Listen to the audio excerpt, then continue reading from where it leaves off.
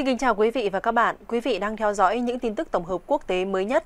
Mở đầu phần tin sẽ là những tin tức liên quan đến tình hình xung đột Nga-Ukraine. Nga tuyên bố chặn nhóm thám báo Ukraine xâm nhập tỉnh biên giới. An ninh và vệ binh quốc gia Nga thông báo đã chặn tốp thám báo Ukraine xâm nhập tỉnh Bryan, hạ hai thành viên, bắt 5 người. Chúng tôi đã ngăn chặn hoạt động của nhóm thám báo gồm các thành viên của Cơ quan An ninh Ukraine SBU, Tổng cục Tình báo Quốc phòng GUR và lực lượng đặc nhiệm ngày 30 tháng 8. Cơ quan An ninh Liên bang Nga FSB hôm nay thông báo.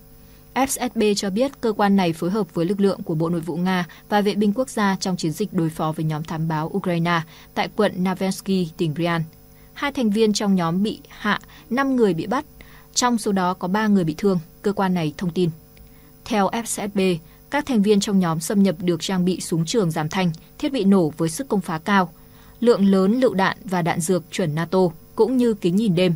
Nhóm thám báo đã lên kế hoạch thực hiện loạt vụ tấn công khủng bố quy mô lớn nhằm vào cơ sở quân sự và năng lượng của Nga, FSB cho biết. Bryansk cùng các tỉnh biên giới phía Tây Nga nhiều lần tập kích sau khi chiến sự Ukraine nổ ra vào tháng 2 năm 2022. Alexander Bogomas, tỉnh trưởng Bryansk, ngày 17 tháng 8 thông báo một thành viên nhóm thám báo Ukraine đạp trúng mìn khi tìm cách vượt biên, khiến cho nỗ lực này thất bại. Một trong những vụ tấn công xuyên biên giới quy mô lớn nhất diễn ra hồi đầu tháng 6, khi hai nhóm dân quân thân Ukraine là binh đoàn tình nguyện Nga RCV và quân đoàn tự do Nga FRL tập kích một số địa điểm tại tỉnh Belgorod. Lực lượng Nga sau đó đã đẩy lùi các đợt tập kích này và tuyên bố hạ nhiều tay súng của đối phương. Giới chuyên gia phương Tây cho rằng các đợt pháo kích qua biên giới và xâm nhập lãnh thổ Nga khiến nước này phải phân tán lực lượng để đối phó. Họ cũng nhận định an ninh tại các vùng biên giới của Nga suy giảm, nguy cơ khiến nước này tiêu tốn nhiều nguồn lực để vá lỗ hổng. Tuy nhiên, một số chuyên gia nhận định những vụ tập kích qua biên giới bất thành có thể mang lại lợi ích cho Nga trong cuộc chiến thông tin. Việc ca ngợi nỗ lực ngăn chặn thành công chiến dịch phá hoại khủng bố do Ukraine và phương Tây hậu thuẫn có thể khiến cho công chúng Nga đoàn kết và ủng hộ chiến dịch quân sự của nước này. Xuất hiện video trùm Wagner nói về sự an nguy của bản thân. Một đoạn video mới được công bố về ông trùm Wagner cho thấy ông này ở châu Phi vài ngày trước khi không qua khỏi trong một vụ rơi máy bay. Hãng tin Reuters cho biết trong video, người đứng đầu tập đoàn Wagner, ông Yevgeny Prigozhin đã nói về những đồn đoán liên quan tới sức khỏe và những mối đe dọa có thể xảy ra với bản thân. Trong video ngắn được kênh Rezon đăng tải, ông Prigozhin nói, Đối với những người đang thảo luận về việc tôi có còn sống hay không thì tình hình của tôi như thế nào? Bây giờ là cuối tuần, nửa cuối tháng 8 năm 2023, tôi đang ở châu Phi. Vì vậy với những người muốn thảo luận về việc xóa sổ tôi hoặc là cuộc sống riêng tư của tôi, tôi kiếm được bao nhiêu hay là bất cứ điều gì khác thì mọi thứ vẫn ổn. Hãng tin Reuters cho biết không thể xác định địa điểm hay ngày tháng của đoạn video được quay trên một phương tiện đang di chuyển. Quần áo, mũ giàn di cũng như chiếc đồng hồ trên tay ông Prigozhin khớp với hình ảnh của ông này trong một đoạn video được công bố vào ngày 21 tháng 8. Trong đó, ông trùm Wagner khẳng định video được quay ở châu Phi. Ông Trung Wagner đề cập tới cuối tuần trong đoạn video mới nhất chính là ngày 19 hoặc 20 tháng 8, chỉ 3-4 ngày trước khi ông và các nhân vật cấp cao khác của Wagner cùng với các vệ sĩ không qua khỏi trong vụ máy bay rơi ở Bắc Moscow vào ngày 23 tháng 8. Hãng tin Reuters cho rằng những tuyên bố của ông Prigozhin trong đoạn video cho thấy ông biết rõ những rủi ro đối với mình. Ông Prigozhin đã được an táng tại quê nhà tại Saint Petersburg vào thứ Ba. Đặc nhiệm Ukraine tấn công sở chỉ huy Nga ở Bakhmut. Nga bắn hạ tên lửa hành trình tấn công Crimea. Các binh sĩ thuộc lực lượng tác chiến đặc biệt của Ukraine đã phá hủy một sở chỉ huy và quan sát của Nga trên mặt trận Bakhmut, trong khi Nga tuyên bố bắn hạ tên lửa hành trình đang lao tới tấn công Crimea. Trong một tuyên bố trên Facebook, lực lượng tác chiến đặc biệt của Ukraine cho biết vị trí sở chỉ huy và quan sát của đối phương đã được tình báo xác định trước. Những người điều khiển máy bay không người lái đã nạp đạn cực mạnh vào máy bay không người lái và triển khai nó đến tọa độ chính xác. Lực lượng tác chiến đặc biệt báo cáo rằng vụ ném bom sở chỉ huy và quan sát của Nga đã thành công khi hai quả đạn bắn trúng mục tiêu. Họ cũng nói thêm rằng chiếc UAV đã trở về an toàn. Trong một diễn biến liên quan, theo hãng tin CNN, các quan chức Nga cho biết lực lượng phòng không nước này vừa bắn hạ một tên lửa hành trình của Ukraine bắn vào Crimea và hai máy bay không người lái tấn công bryansk giáp miền đông bắc Ukraine. Lực lượng phòng không Ukraine đã bắn hạ một tên lửa hành trình ở phía đông Crimea. Tôi yêu cầu mọi người giữ bình tĩnh và chỉ tin tưởng vào các nguồn tin chính thức. Ông Sergei Askionov, người đứng đầu Crimea do Nga bổ nhiệm viết trên Telegram. Cố vấn của ông Oleg Kryukov cho biết các mảnh vỡ của tên lửa đã khiến cho bãi cỏ trên cánh đồng bốc cháy. Ngoài ra, Alexander Bogoma, thống đốc tỉnh Bryansk của Nga cho biết các máy bay không người lái của Ukraine cũng đã bị bắn hạ trong khu vực đêm 30 tháng 8 và không có tổn thất về người hay thiệt hại. Nhiều UAV nhắm mục tiêu trong lãnh thổ Nga, quan chức Ukraine lên tiếng. Ukraine thời gian gần đây bị cáo buộc thường xuyên phóng các mẫu máy bay không người lái UAV sang lãnh thổ Nga, thậm chí đưa UAV đến tận các quận trung tâm của thủ đô Moscow. Mikhailo Podolyak, cố vấn của Tổng thống Volodymyr Zelensky, ngày 30 tháng 8 nói rằng các cuộc tấn công bằng UAV nhằm vào các mục tiêu trong lãnh thổ Nga là dấu hiệu cho thấy chiến sự đang ngày càng dịch chuyển sang Nga và điều này không thể dừng lại, theo Business Insider. Ông Podolyak cho rằng Nga đang rất thiếu các hệ thống phòng không để bảo vệ vùng trời bên trong lãnh thổ do đã đưa các trang thiết bị vũ khí này ra tiền tuyến ở Ukraine. Trong tuyên bố mới, ông Podolyak tránh đề cập đến trực tiếp vai trò của Ukraine trong các cuộc tấn công trên. Quan chức Ukraine khẳng định Kiev tuân thủ nghiêm ngặt nghĩa vụ không sử dụng vũ khí do các đối tác phương Tây cung cấp để tấn công lãnh thổ Nga và chỉ hành động theo nguyên tắc phòng vệ. Ông Podolyak cũng cho rằng những lời kêu gọi Kiev tránh tấn công trên lãnh thổ Nga là vô lý. Liên tiếp trong những ngày qua, nhiều vùng ở Nga đã trở thành mục tiêu tấn công của UAV, bao gồm vùng thủ đô Moscow. Hôm 31 tháng 8, Nga thông báo bắn hạ một UAV bay về phía Moscow. UAV bị bắn hạ vào lúc sáng sớm ngày 31 tháng 8 ở quận Volkreshensky, phía đông nam Moscow. Thị trưởng thành phố Sergei Sobyanin cho biết. Ông Sobyanin nói rằng nhà chức trách không ghi nhận tổn thất về người hay thiệt hại trên mặt đất. Bộ Quốc phòng Nga cho biết các hệ thống phòng không đã phát hiện và phá hủy một máy bay dạng UAV, khẳng định đây là một nỗ lực tấn công khủng bố khác của Kiev. Sự cố xảy ra vào sáng sớm đã khiến ba sân bay ở Moscow, bao gồm Domo Dedovo, Semenyasko và Vnukovo đã phải tạm dừng hoạt động trong một thời gian ngắn. Trước đó một ngày, Moscow cũng đã cáo buộc Ukraine phóng UAV sang 7 vùng lãnh thổ của Nga, bao gồm 15 UAV tập kích sân bay vùng Peskov, vùng lãnh thổ Nga giáp biên giới các quốc gia thành viên NATO. Trong tuyên bố hôm 30 tháng 8, người phát ngôn Điện Kremlin Dmitry Peskov cho biết Nga đang tìm hiểu xem các máy bay không người lái của Ukraine được phóng từ đâu để ngăn chặn. Bộ Ngoại giao Nga cho biết làn sóng tấn công bằng UAV của Ukraine trong lãnh thổ Nga sẽ bị đáp trả. Nhà chức trách Nga cho rằng UAV Ukraine không thể xâm nhập sâu vào lãnh thổ Nga nếu không có phương Tây hỗ trợ. Trong một cuộc phỏng vấn ngày 27 tháng 8, ông Zelensky nói Ukraine sẽ mất đi sự hỗ trợ quân sự từ một số cường quốc nếu xung đột lan sang lãnh thổ Nga. Khi được hỏi liệu có nghĩ rằng cuộc chiến sẽ lan sang lãnh thổ Nga hay không, Tổng thống Ukraine nói rằng có nguy cơ lớn là chúng tôi sẽ bị bỏ lại một mình nếu điều đó xảy ra. Thưa quý vị và các bạn, tình hình tại bán đảo Triều Tiên đang trở nên nóng hơn bao giờ hết khi các bên liên tục có động thái ăn miếng trả miếng khiến căng thẳng gia tăng. Sáng ngày 31 tháng 8, Triều Tiên xác nhận đã phóng hai quả tên lửa đạn đạo, đồng thời tiến hành tập trận tấn công hạt nhân chiến thuật nhằm đáp trả các cuộc tập trận chung giữa Mỹ và Hàn Quốc.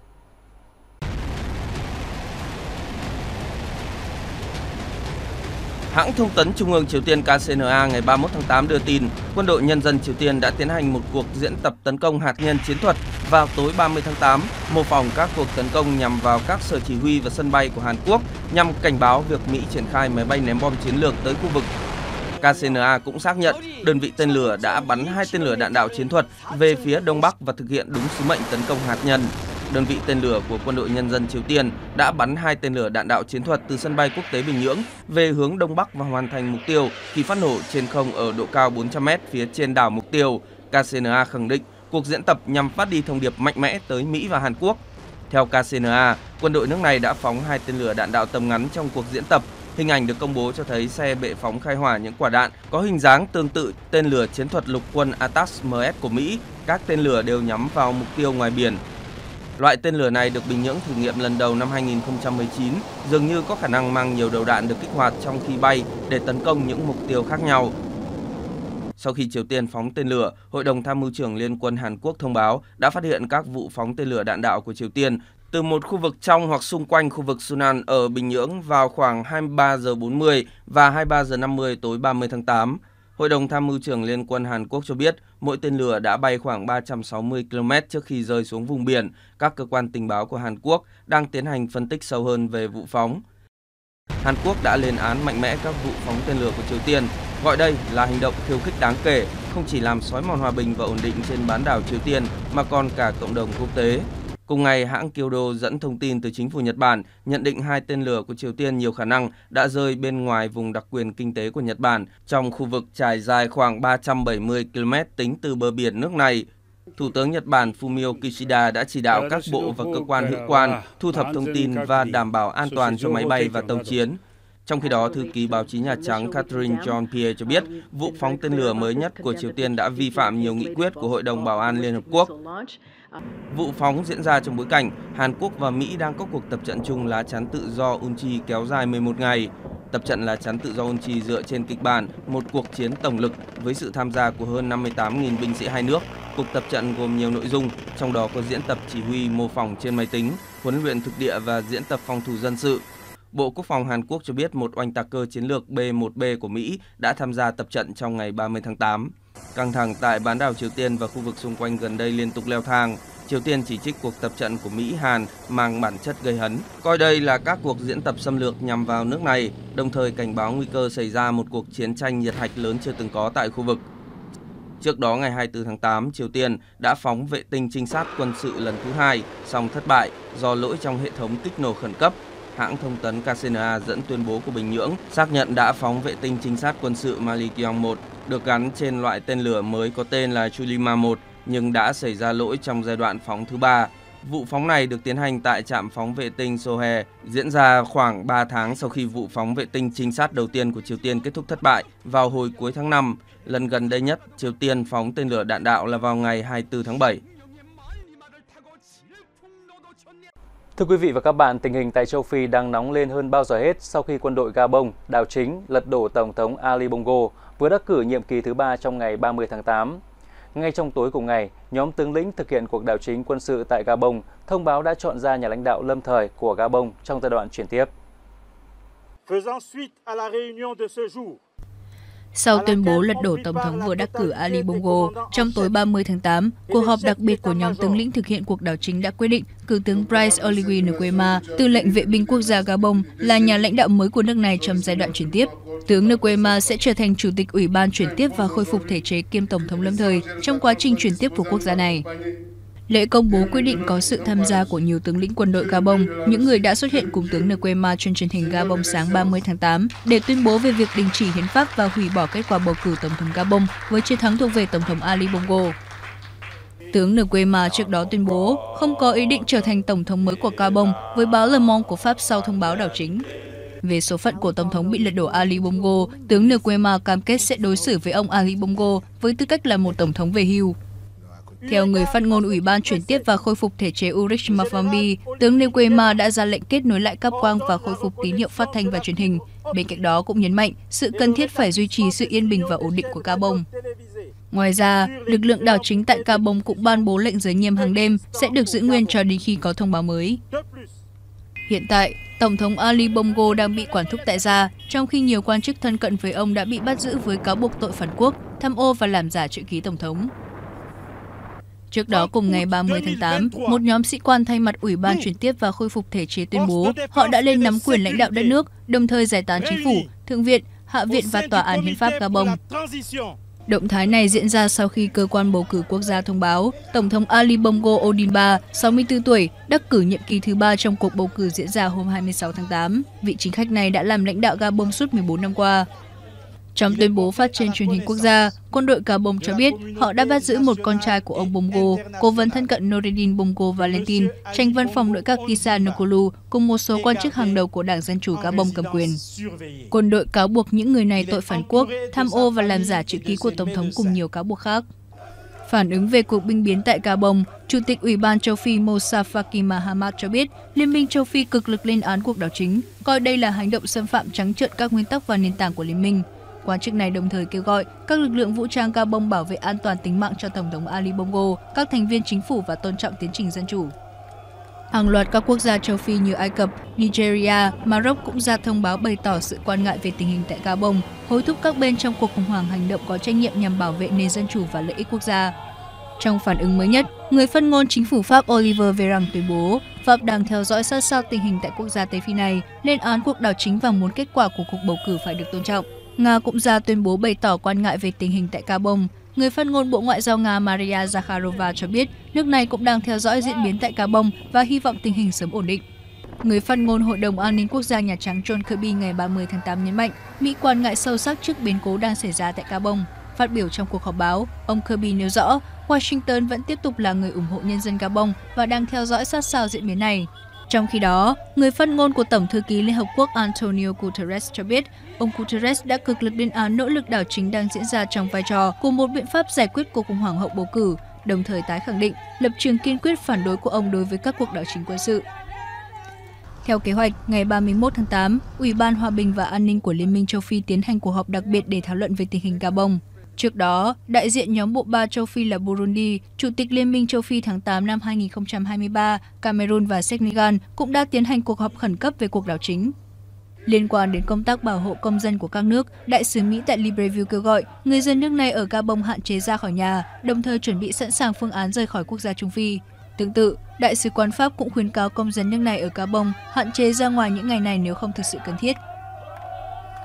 Thưa quý vị và các bạn, ngày 30 tháng 8, chỉ hơn một tháng sau cuộc đảo chính tại Niger, khu vực Trung Tây Phi lại nóng lên vì Gabon đảo chính. Phe đảo chính cho biết kết quả bầu cử đã bị hủy bỏ, biên giới bị đóng cửa cho đến khi có thông báo mới và các thể chế nhà nước bị giải thể. Theo thông báo, tất cả thể chế của nước Cộng hòa đều bị giải thể, bao gồm chính phủ, quốc hội, tòa án, hiến pháp, Hội đồng Kinh tế Xã hội và Môi trường và Hội đồng Bầu cử Gabon. Nhóm này cũng kêu gọi người dân Gabon và các nước láng giềng giữ bình tĩnh. Điều đáng nói là cuộc đảo chính diễn ra chỉ vài phút sau khi Tổng thống Gabon, ông Ali Bongo đã cử. Đặc biệt hơn, đây đã là nhiệm kỳ thứ ba của ông. Vậy vị chính khách này có điều gì đặc biệt? Mời quý vị cùng theo dõi phần tổng hợp tin tức của chúng tôi. Ngày 30 tháng 8, nhóm sĩ quan quân đội Gabon đại diện cho toàn bộ lực lượng an ninh quốc phòng tuyên bố đảo chính, quản thúc Tổng thống Ali Bongo Ondimba 64 tuổi tại gia và giải tán toàn bộ thể chế chính quyền, chấm dứt 14 năm nắm quyền của ông. Ông Ali Bongo Ondimba sinh ra ở thành phố Brazzaville của Congo, trong thời kỳ khu vực này vẫn còn là thuộc địa của Pháp. Nguồn gốc của ông từng gây tranh cãi suốt nhiều năm với những tin đồn cho rằng ông là con nuôi của cựu Tổng thống Omar Bongo, điều mà gia tộc này bác bỏ. Khi Ali Bongo lên 8, cha của cậu bé là Omar Bongo lên nắm quyền lãnh đạo Gabon. Kể từ đó, cuộc đời của Ali Bongo Ondimba bước sang một trang mới. Cậu bé Ali Bongo được hưởng những điều tốt đẹp nhất ở Gabon. Năm Ali Bongo lên 9, cậu bé sang Pháp, tiếp cận nền giáo dục tân tiến tại đây. Ali Bongo theo học trường tư Nuili ở Pháp, sau đó vào Đại học Sorbonne ở thủ đô Paris để theo đuổi ngành luật. Chính vì tiếp cận nền giáo dục và văn hóa Pháp từ khi còn nhỏ và không học tiếng địa phương, nên Ali Bongo bị nhiều người Gabon coi là người ngoài, thậm chí không tiếc lời chỉ trích ông sau này. Năm 1973, Ali Bongo và cha ông cải sang đạo hồi, trong khi tôn giáo chính của Gabon là Kitô giáo. Động thái này được nhiều người coi là cách để thu hút đầu tư từ các nước Hồi giáo. Một điều đáng chú ý ở vị Tổng thống Gabon là ông có niềm đam mê về bóng đá và âm nhạc từ rất sớm. Mẹ của ông, bà Gabon Passon Dabani là một ca sĩ có tiếng, Tài năng âm nhạc của ông đã sớm được khẳng định khi ra mắt album nhạc Funk A Brand New Man vào năm 1977 trong vai trò ca sĩ. Ngay khi đã trở thành Tổng thống Gabon, Ali Bongo được cho là vẫn giữ niềm yêu thích với các thể loại âm nhạc. Sự chuyển hướng từ ca sĩ sang chính trị gia của Ali Bongo đã khiến nhiều người bất ngờ. Theo đó, ông có thời gian 10 năm làm việc dưới quyền cha mình ở chức vị Bộ trưởng Quốc phòng. Sau đó, vào năm 1989, Ali Bongo được bổ nhiệm làm Ngoại trưởng Gabon. Ba năm sau, ở tuổi 32, ông phải từ chức do hiến pháp mới của Gabon quy định bộ trưởng phải trên 35 tuổi. Tuy nhiên, uy tín chính trị của Ali Bongo vẫn chưa vững vàng. Nhiều cử tri Gabon vẫn chưa có nhiều niềm tin chính trị vào vị chính khách này.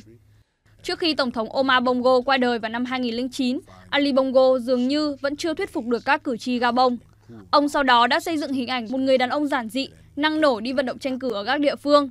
Nhà sử học người Pháp François Gom, chuyên nghiên cứu về Gabon cho biết, Cha ông ấy theo chủ nghĩa dân túy, nhưng Ali Bongo lại lớn lên trong nhung lụa, khiến ông khó có thể gắn kết với tầng lớp bình dân. Dù vậy, trong cuộc bầu cử tổng thống năm 2009, Ali Bongo vẫn đắc cử với 42% phiếu bầu. Hành trình chính trị dưới cương vị tổng thống của ông chính thức mở ra với nhiều rào cản và thách thức. Trong suốt thời gian nắm quyền từ năm 2009, Tổng thống Ali Bongo luôn bị phe đối lập hoài nghi về tính chính danh của mình. Tới cuộc bầu cử năm 2016, ông Ali Bongo tiếp tục bị nghi ngờ thiếu minh bạch khi đánh bại đối thủ với chỉ 6.000 phiếu. Phe đối lập Gabon cáo buộc đã xảy ra gian lận bầu cử, song Đảng Dân Chủ Gabon cầm quyền đã bác bỏ. Không chỉ vậy, Tổng thống Gabon Ali Bongo và các thành viên trong gia đình cũng từng bị cáo buộc tham nhũng. Cụ thể, năm 2017, công chúng Gabon nóng mắt khi Tổng thống Gabon, cổ động viên nhiệt thành của câu lạc bộ Real Madrid, chở cầu thủ Lionel Messi đi vòng quanh thủ đô Libreville trên một chiếc ô tô xa xỉ. Cảnh sát Pháp cũng từng tiến hành cuộc điều tra dài 7 năm với gia đình Tổng thống Ali Bongo. Cảnh sát Pháp cho biết, gia đình ông sở hữu 39 bất động sản ở Pháp cùng 9 chiếc ô tô hạng sang. Gia đình Tổng thống Ali Bongo cũng liên tục phủ nhận những cáo buộc này. Đến năm 2017, do không đủ bằng chứng cho thấy các thành viên gia đình Tổng thống Bongo tư lợi bất chính, cuộc điều tra đã bị đình chỉ. Trong khi đó, với những người dân ủng hộ ông Ali Bongo, ông là người đóng góp quan trọng cho nỗ lực đa dạng hóa nền kinh tế vốn phụ thuộc vào dầu mỏ của quốc gia này. Theo số liệu của Ngân hàng Thế giới năm 2016, ngành dầu mỏ của Gabon chiếm 80% xuất khẩu, 45% GDP và 60% doanh thu tài chính của đất nước trong 5 năm trước đó. Tuy nhiên, trữ lượng dầu mỏ của Gabon đang dần suy giảm. Nhà phân tích Paul Melly của tổ chức nghiên cứu Chatham House ở Anh nhận xét, ông Ali Bongo rất nhạy bén và có thể nhận ra khó khăn với các ngành khai thác dầu mỏ là không tạo ra nhiều việc làm. Mục tiêu của ông ấy là biến Gabon thành nền kinh tế có kỹ thuật và công nghệ cao hơn. Không chỉ vậy, Tổng thống Ali Bongo cũng rất quan tâm tới việc xây dựng mối quan hệ của Gabon với thế giới. Tổng thống Ali Bongo đã tận dụng các mối quan hệ của mình để thúc đẩy xây dựng nền kinh tế mạnh mẽ hơn. Ông được cho là đã đi khắp thế giới để tìm kiếm các nhà đầu tư và đối tác mới ở các quốc gia như Ả Rập Xê Út và Kuwait, đồng thời vẫn giữ mối quan hệ chặt chẽ với Pháp. Bắt đầu từ năm 2018, Tổng thống Ali Bongo có dấu hiệu suy giảm sức khỏe. Trong chuyến thăm Ả Rập Xê Út để dự hội nghị đầu tư hồi tháng 10 năm 2018, ông Ali Bongo bị đột quỵ và phải nhập viện. Sau đó, ông Ali Bongo bác bỏ những hoài nghi về sức khỏe của mình và vẫn quyết định tranh cử nhiệm kỳ 3. Cơ quan bầu cử Gabon ngày 30 tháng 8 thông báo Tổng thống Ali Bongo tái đắc cử nhiệm kỳ 3 với 64,27% phiếu bầu. Ngay sau khi kết quả bầu cử được đưa ra, các sĩ quan quân đội tuyên bố đảo chính vì cuộc bầu cử không đáng tin cậy. Hiện chưa rõ tình hình sức khỏe và tương lai chính trị của ông Ali Bongo.